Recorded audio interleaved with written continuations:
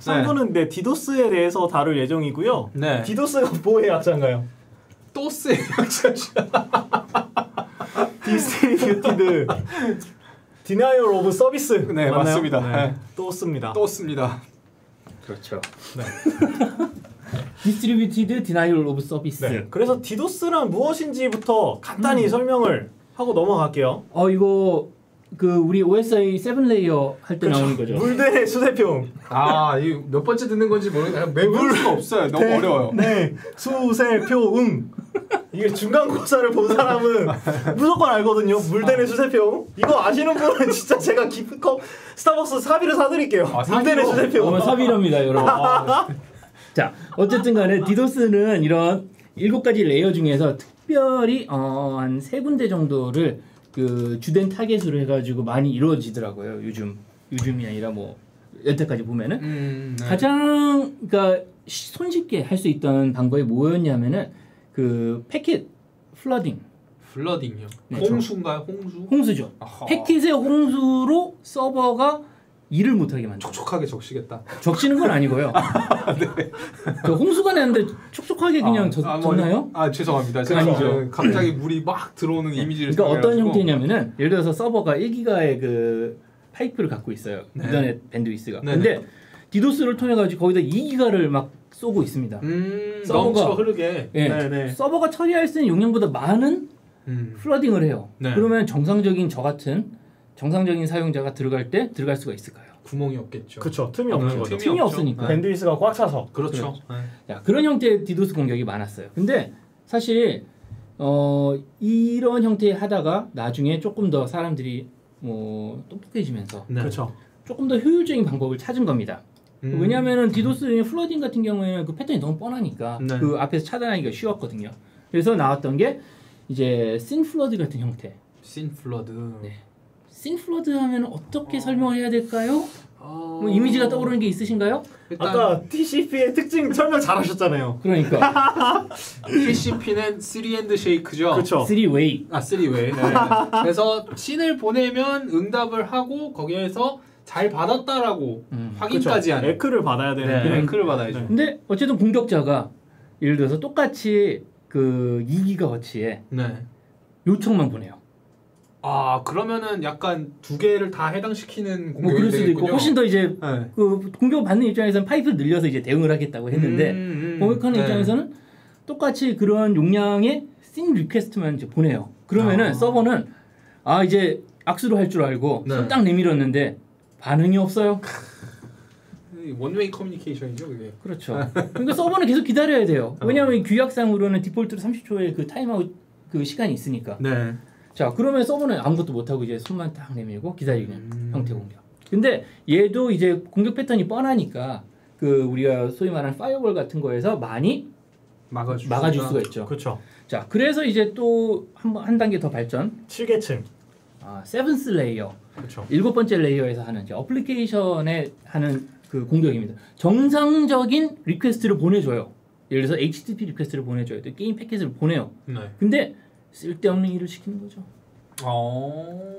굉장히 지능형이네요 그러면. 그렇죠. 지능적이죠. 얘네들 같은 경우에는 이제 그 들어오는 패킷, 그러니까 그 밑단의 layer에서 확인할 수가 없기 때문에 네. 실제로 패킷을 다 까야 되고, 하... 그러니까 앞에서 filtering을 걸기가 되게 어려워지는. 그렇죠. 잘못해서 또 정상적인 트래픽 막아버리면 서비스가 그쵸. 안 되는 거니까. 방어도 좀 어려워 보이죠. 그렇죠. 네, 굉장히 뭐 이런 고민이 형태의 많을 것 같아요. 패턴이 있어요. 네. 네. 어떻게 이거를? 그래서 그 하단이 미디어 layer고 밑단이 호스트 layer잖아요. 음. 그 1, 2, 3 물대 내까지는 음, 미디어. 미디어. 네. 미디어의 뜻이 뭐죠? 컨텐츠죠. 영상이죠, 영상 미디어를. VOD? 그렇죠. 아, 이게 제가 아까 정확하게 했던 아, 리허설 때 했던 답변이에요, 여러분. 네. 네, 굉장히 쫑크를 많이 먹었습니다. 맞습니다. 네, 물리적 layer. 네, 물리적 물리적 layer에 layer. 들어오느냐 아니면 그냥 호스트 단에 들어오느냐 음. 일것 같아요. 그래서 디도스의 현황 보면은 공격이 날이 갈수록 굉장히 늘어나고 있는 거를 확인을 할 수가 있습니다. 네, 실제로 클라우드가 이제 많이 사용되면서부터 이런 공격의 크기 자체가 음. 기하급수적으로 커지는 걸 볼 수가 있어요. 그렇죠. 미라이오텍과 mem캐시가 뭐가 틀린 거죠? 그냥 그 당시에 가장 이제 대표적인 이름인가요? 공격 아. 방식. 네. 그래서 Memcached 어떻게 Memcached의 어떤 결점을 이용해서 음. 이제 공격을 하겠다. 근데 그런 것들이 이제 양이 많아지니까 네. 딱그 이런 이런 그래 현황 그래프에서 아, 보여진다. 아, 네, 네. 네, 그래서 이런 디도스 공격을 AWS에는 이제 어떤 서비스를 이용해서 방어를 하고 있는지를 좀 음. 살펴보도록 할게요. 되게 사실 아마 뭔가 AWS 직원을 한 번이라도 만나보셨으면은 아실 것 같아요. 일단 공격 패턴에 따라서 이제 적용이 되는 서비스가 다릅니다. 그래서 네, 그 아래부터 볼까요? 아래에 보면은 이제 그 방패 모양이 있죠. 그렇죠. 저희가 이제 실드라고 4계층 해서 밑에 물대내 숲 해서 3, 4계층 네, 공격. 숲까지. 네.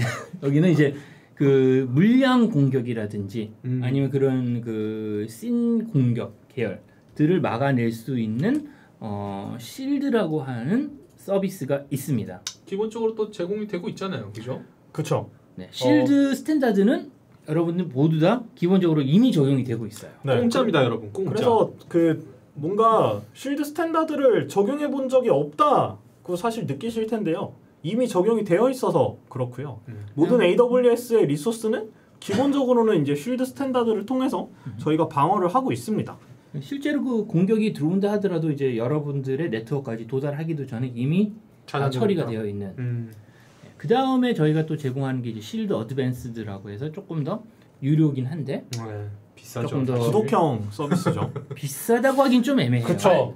피처에 비해서 비싸지 않아요. 저도 그거는 인정합니다. 네. 근데 이제 원래 Standard에서 benefit을 받고 있는 고객 입장에서는 비싸다고 맞습니다. 느끼실 수는 있는 어, 것 같아요. 구독형이시고 그 사실 Business Support 무조건 하셔야 되죠. 음. 네, 그렇죠. 네. 그리고 음, 어, 대신에 이제 Shield Advanced 쓰시면은 그 AWS 디도스 전담팀한테 리포트 같은 거 받으실 수 있고 음, 그다음에 그쪽에 어, 어떤 형 공격 패턴에 대해서 이거 좀 막아달라라는 식으로 요청도 하실 수가 있어요. 음. 맞습니다. 네, 그런 Shield라는 게 있고 그 다음에 이제 어플리케이션 레이어, OSI 7th 레이어, 응 레이어에서 사용할 수 있는 와프, 웹. 어플리케이션 파이어월, AWS의 웹 어- 어플리케이션 파이어월이 있고요. 얘 같은 경우에는 이제 뭐 흔히 우리가 봐, 봐왔던 아까 그 정상적이 아, 정상적이지 않은 요청 음. 그렇죠. 또는 예전에 이제 많이 유행했던 injection 공격이라든지 음. 아니면 cross siting이라든지 이런 부분들에 대해서 대응을 할 수 있는 브라질에서 들어오셨네요. 네, 죄송합니다. 네. 그 뭐 그리고 WAF가 그 디도스 방어 외에도 사실 마, 많이 사용하시는 형태가 있어요. 음. 그 게임 운영하시다 보면은 뭔가 블랙리스트 IP를 확인을 하시게 음. 될것 같아요. 그렇죠. abusing을 이제 시도하는 유저가 있으면 그 사용자들을 막을 시 그 IP를 알았을 때 차단할 수 있는 방법이 두 가지가 있을 것 같은데 첫 번째는 이제 VPC의 이제 network access list NACL에다가 해당 IP를 block을 해버리시는 게 일단 첫 번째 방법일 것 같고요. 그러면 이제 subnet단에서 막히는 거죠. 그리고 이제 WAF에 또 블랙리스트 IP를 그냥 등록해서 차단하시는 것도 가능합니다. 근데 마프를 써야 되는 일- 마프로 막았을 때 뭔가 나클로 막는 것보다 뭔가 이점은 뭐가 있을까요? 이점이라고 그러면 일단 우리가 막을 수 있는 네, 그 개별 IP의 개수가 많아요. 비교할 수 없을 정도로 많아지죠. 음.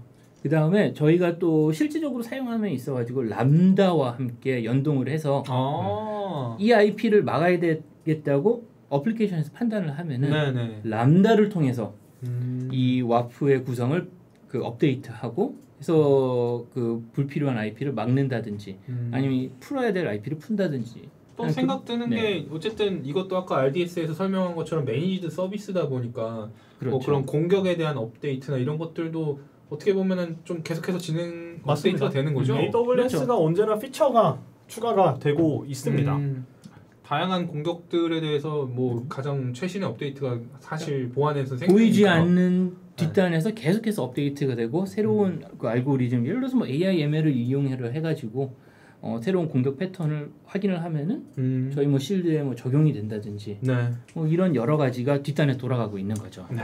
네. 그래서 마지막 장표 바로 볼게요. 네.